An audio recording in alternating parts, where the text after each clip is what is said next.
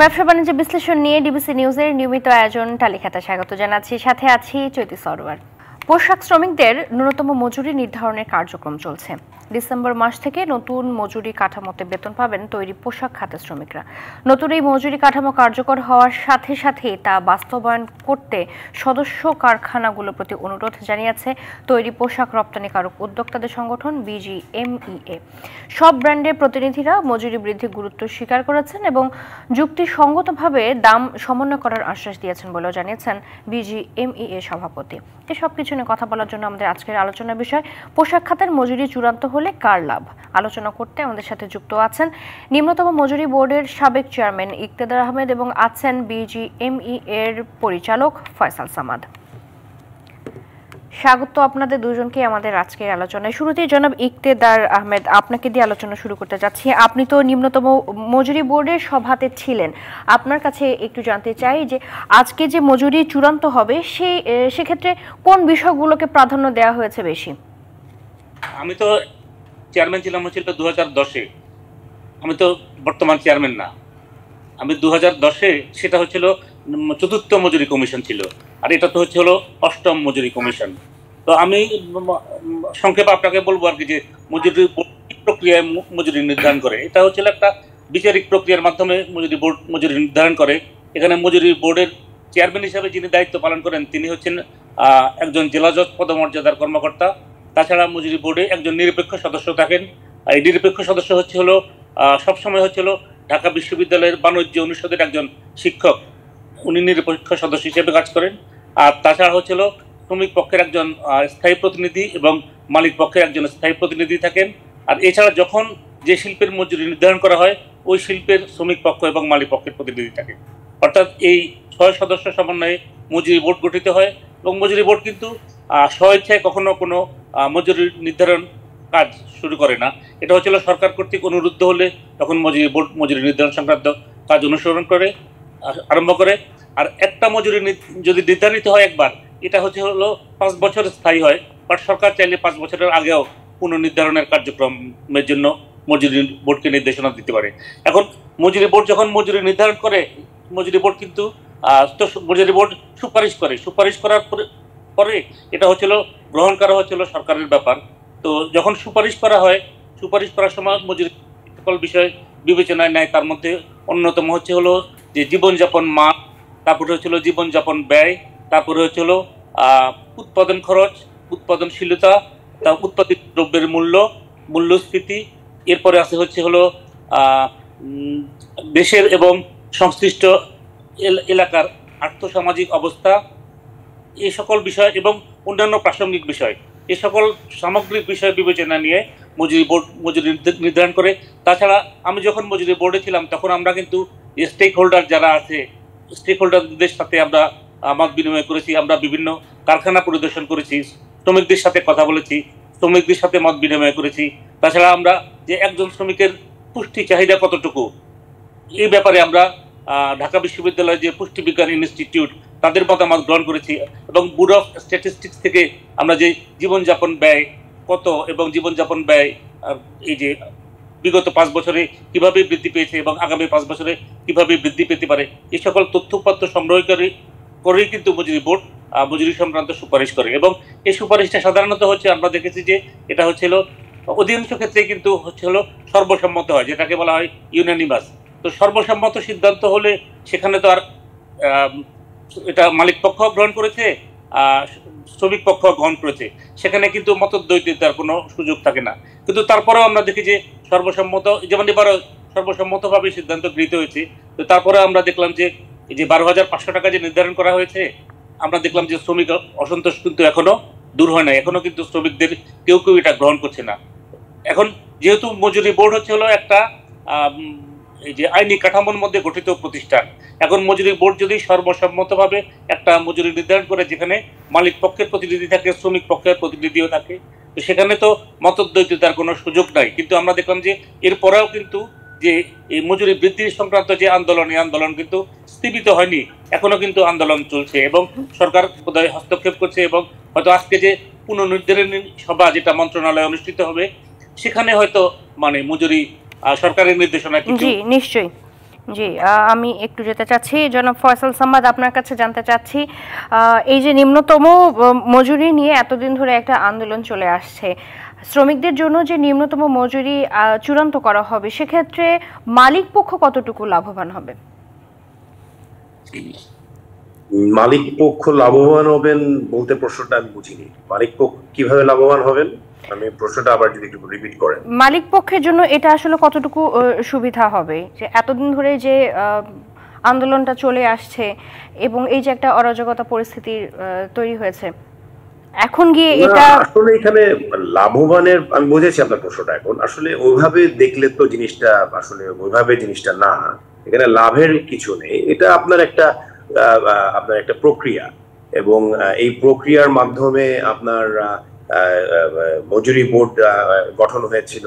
মজুরি বোর্ড গঠন হওয়ার পরে তারপরে এখানে নানা ডায়ালগ এবং মিটিংস এর মাধ্যমে আপনার ফাইনালি যখন মাননীয় প্রধানমন্ত্রী ডিক্লেয়ার দিলেন, তারপরে গ্যাজেট হলো। এখন সেই গ্যাজেট পিরিয়ডে যে টাইমটা আছে, দশ থেকে চোদ্দ দিন টাইম সেটার উপর বেস করে আজকে এটার একটা ফাইনালাইজেশন পয়েন্টে যাওয়ার যাওয়ার কথা।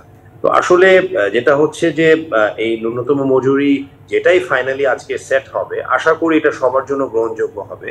আমরা জানি আমরা জানি সবাই কাজে ফেরত যেতে পারি ইন সাম নর্মালসি আমাদের দেশের সামনে ন্যাশনাল ইলেকশনস আছে, আমাদেরকে সেটাও মাথায় রাখতে হবে। এখানে কোনো অস্থিরতা করলে হবে না। এবং আমাদের দেশের স্বার্থে, আমাদের দেশের ইমেজের স্বার্থে, এবং আমাদের ট্রেডের স্বার্থে আমাদেরকে একটা শান্তিপূর্ণ অবস্থান থেকে আমরা সামনে আগাতে হবে, সামনের বছরের যে মাথায় রেখে।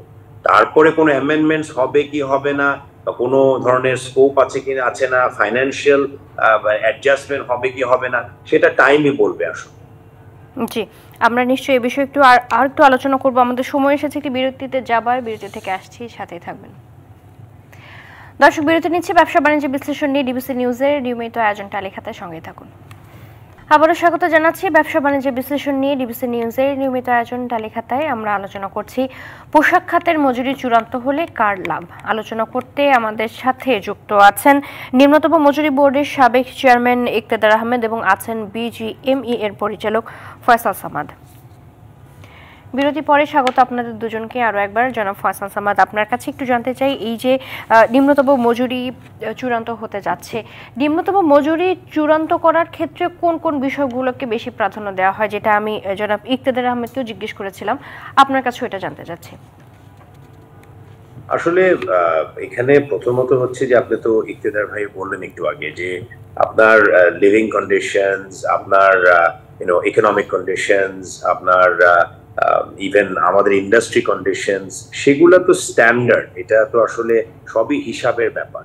এবং এই হিসাবপত্রগুলোই করা হয় যে আপনার এটাকে সাস্টেইন করার জন্য ইন্ডাস্ট্রিকে সাস্টেইন করার জন্য আমাদের শ্রমিক ভাইদের ভাই বোনদের মানে মানে তাদের লাইভলিহুড আপনার সাস্টেইন করার জন্য যেগুলো দরকার সেগুলাকেই আপনার ফ্যাক্টরগুলোকে কনসিডার করা হয়।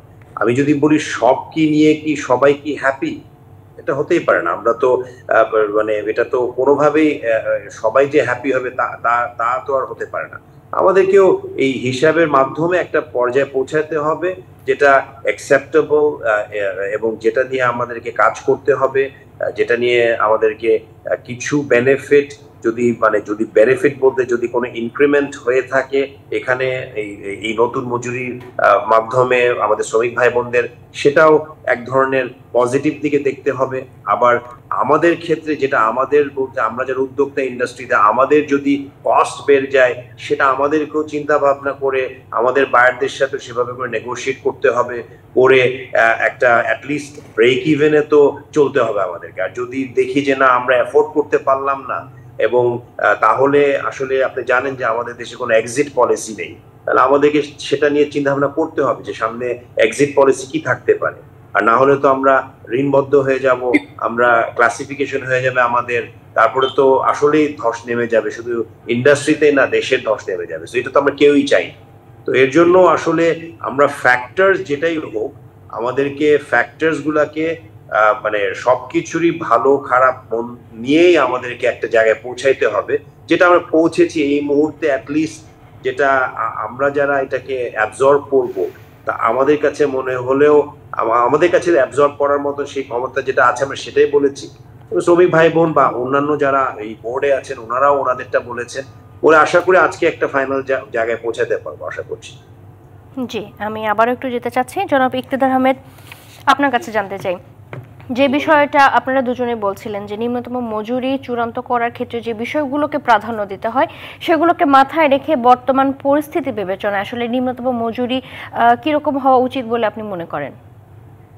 এটা তো ধরেন যে মজুরি বোর্ড, এটা তো হচ্ছে হলো যে একটা সংবিধিবদ্ধ প্রতিষ্ঠান। এটা আইনের একটা মানে আইনি অবকাঠামোয় অধীনে এটা হচ্ছে হলো এই বোর্ডটা গঠিত হয়। এখানে সকল মানে শ্রমিক পক্ষের প্রতিনিধি আছে, মালিক পক্ষের প্রতিনিধি আছে এবং একটা প্রসেস জুডিশিয়াল প্রসেস অর্থাৎ বিচারিক প্রক্রিয়া। এখানে কেন একজন বিচারককে কেন মজুরি বোর্ডের চেয়ারম্যান করা হয়? অর্থাৎ বিচার, আমরা বিচার করার ক্ষেত্রে যে প্রক্রিয়া অনু- অনুসরণ করি, আমরা বাদীকে শুনি, বিবাদীকে শুনি, তারপরে হচ্ছে আমরা একটা সিদ্ধান্ত গ্রহণ করি। উভয় পক্ষে শোনার পরে সাক্ষ্য সাক্ষ্য গ্রহণ করার পরে এবং কাগজপত্র পরীক্ষার পরে। এখানেও কিন্তু সম্পূর্ণ বিচারিক প্রক্রিয়া। এখানে হচ্ছে হলো যে শ্রমিকদের সাথে কথা বলা হয়, মালিকের সাথে কথা বলা হয়, কারখানা ভিজিট করা হয়, তথ্যপত্র সংগ্রহ করা হয়, তারপরে হচ্ছে হলো এই সিদ্ধান্ত গ্রহণ করা হয়। আমি আগেই বলেছি যে যখন সর্বসম্মত সিদ্ধান্তের প্রেক্ষিতে মজুরি নির্ধারিত হয়, তখন কিন্তু দ্বিমত করার কোনো অবকাশ থাকে না।